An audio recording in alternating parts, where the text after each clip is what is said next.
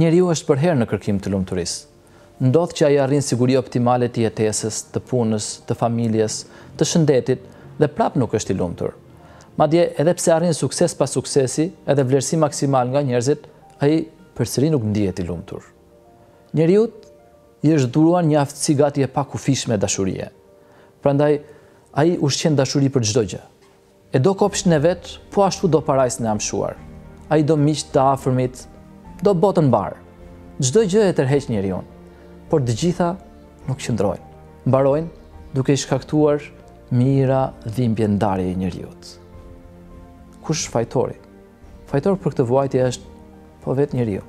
Sepse dashuria e pakufishme nuk i është dhënë atij që ta shpërdorojë për krijesat që e braktisin, ose që e lënë, ose që i braktis ai, ose vdesin një ditë. Por kjo dashuri e pakufishme i është dhënë atij për të dashur të dashurin e përjetshëm, për të dashur Allahun, burimin e të gjitha dashurive. Për hir pastaj të kësaj dashurie mund të duhen edhe krijesat e tjera. Dhe kësisoj njeriu orienton drejt ndjenjat e tij, që hera herës ato nuk e përfillin as logjikën. Asgjë në botë nuk mund ta zvendësojë burimin e vërtetë të lumturisë së njeriut.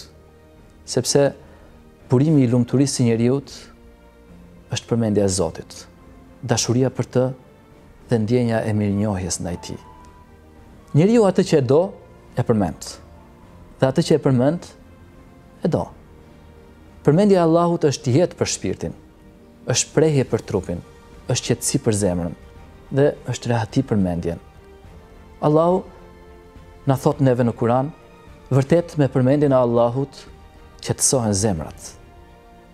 Lidhur me përkujtimin e Tij, Zoti na thotë gjithashtu, o ju që keni besuar, përkujtojeni Allahun sa më shpesh. Dhikri apo përmendja e Zotit në shqip është mirënjohja e besimtarëve ndaj Zotit për udhëzimin në rrugën e drejtë. Aq i rëndësishëm është dhikri, sa që profeti Muhammed alejhi salatu ve selam na thotë: Dallimi mes atij që e përkujton Zotin dhe atij që nuk e përkujton është si dallimi mes të gjallit dhe të vdekurit. Një herë tjetër, profeti Muhammed alejhi salatu ve selam pat thënë se atyre që do t'u lejohet të hyjnë në parajsë Nuk do të pendohen për asgjë në këtë botë, përveç kohës shpenzuar pa përkujtimin e Zotit. Pra, koha që kanë kaluar pa e përkujtuar Allahun në jetën e tyre.